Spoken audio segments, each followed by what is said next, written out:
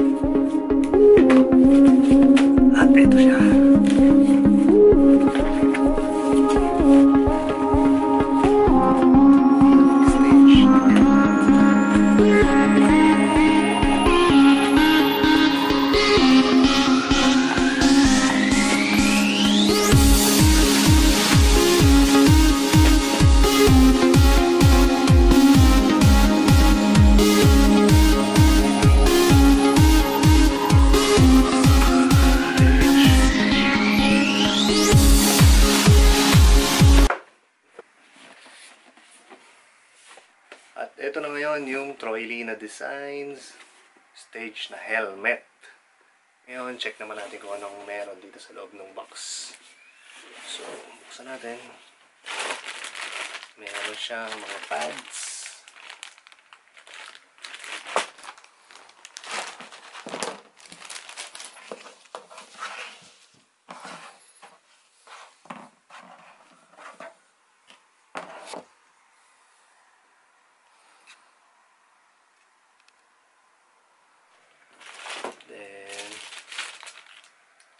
Stickers at yung manual.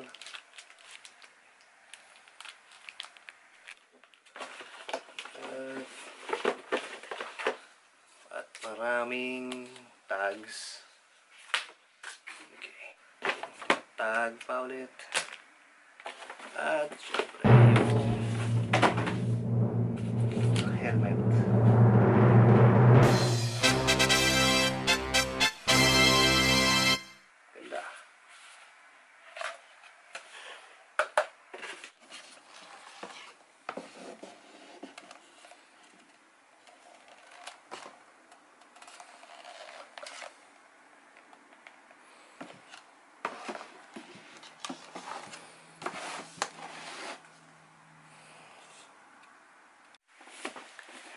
At yung helmet is stealth gray and medium size.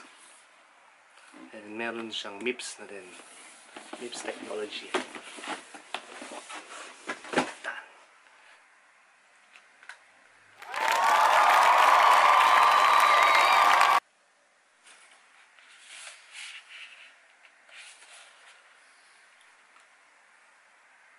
And so, ito na ngayon yung helmet.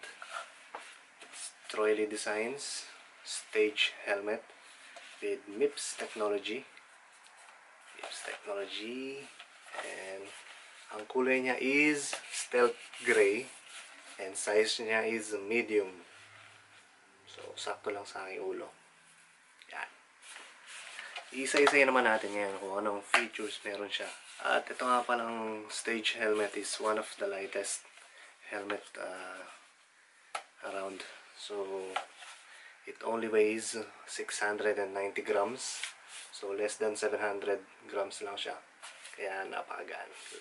Very lightweight. Itong stage na helmet is uh, designed for enduro and downhill. Pag suot mo siya, meron kang peace of mind kasi meron na siyang MIPS technology at isa pa design siya para sa enduro at downhill race or sa pinaka-toughest and the roughest na hills and tracks na makikita natin. At ngayon, isa-isa naman natin yung features ng helmet na to. Number one feature niya is meron siyang fo- polylite, not poly, polylite na construction.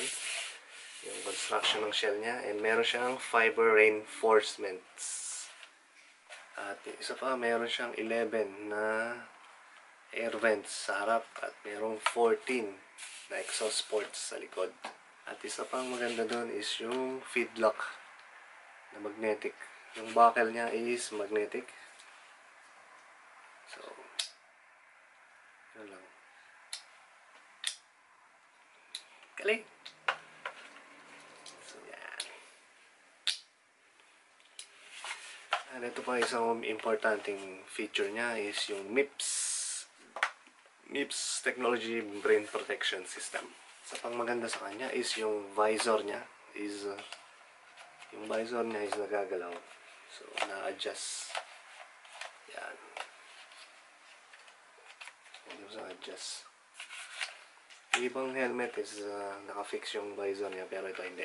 Kaya yun isa pang maganda sa kanya. Yung isa pa, aluminum yung rivet niya. Yan. Ang ganda rin. Aluminum yung rivets niya. Ngayon, itatry naman natin siya kung paano siya manang nakasuot.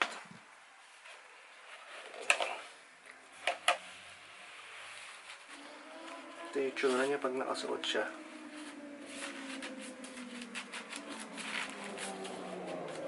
Gamit kong pads is 25mm. So, hindi ko pa pinapalitan. Pwede pa siyang palitan ng 15mm. So, ito yung lock. Pag left. Dali lang. Ito yung itsura naman niya pag nakasuot. So,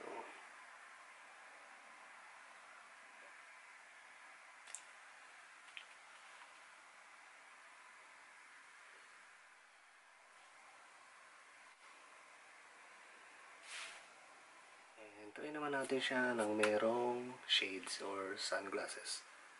Meron tayo dito ng Oakley, so try natin. Kung pwede.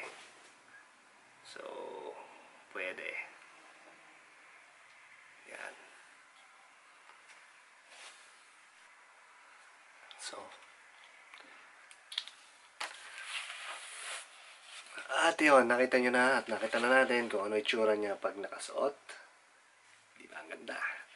At kung bago kayo sa channel namin, so huwag nyo kalimutang mag-subscribe at i-click yung maliit na bell or yung maliit na bell dyan na makikita nyo dyan sa screen. At once na na-click nyo yung maliit na bell nyan, so makakatanggap kayo ng notifications every time na may bago kaming upload na video. Okay? Peace out!